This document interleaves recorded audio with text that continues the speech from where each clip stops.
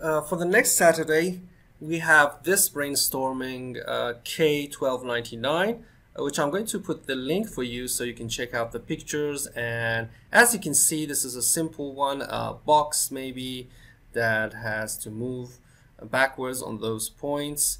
The entrance and the up of the building goes inside and you can see uh, here are the pictures. You can check them out and know more about this. But what I'm going to do and model this in the next uh, Saturday video tutorial is to uh, teach you how simple it is to use point attractors because uh, this can be modeled in many ways. But for the next week, what I'm going to do, I'm going to show you uh, how you can model this and you can see that I can simply uh, change the location of the point attractor and it's going to be fast. So uh, the most important thing of the brainstorming of this is to make this really fast because I'm going to teach you next week uh, the difference between NURBS and mesh. So I'm going to give you a hint.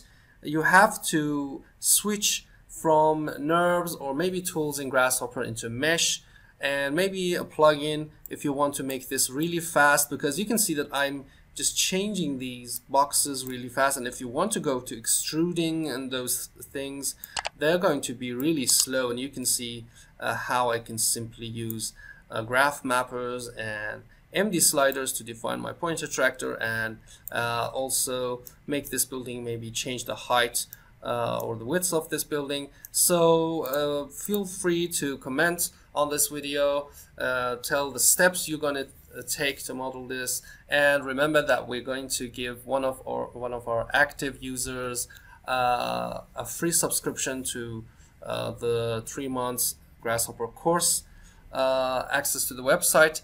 And feel free to comment on this video and tell us about what you think about this. And you maybe you can also talk about grasshopper ask about grasshopper how it works or if it's hard for you and you can also ask about uh, the problems you have with parametric design and learning Grasshopper uh, because Grasshopper is really hard, but not really hard, but it's going to take you time to master it. So uh, tell us your ideas or steps about uh, this parametric building and thank you for watching. Hit the like button so you can just hear more often about our videos. As soon as we publish you can get uh, notified about our videos and also subscribe to our channel.